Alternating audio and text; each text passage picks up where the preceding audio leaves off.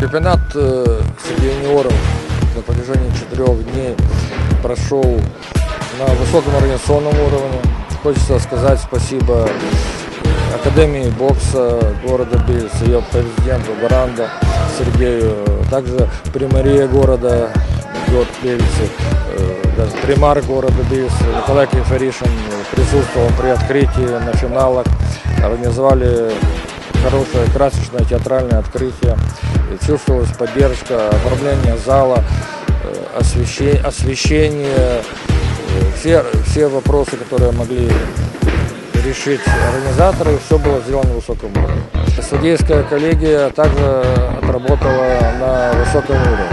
Никаких вопросов, претензий не возникало. Все победители определены правильно, зрители довольны.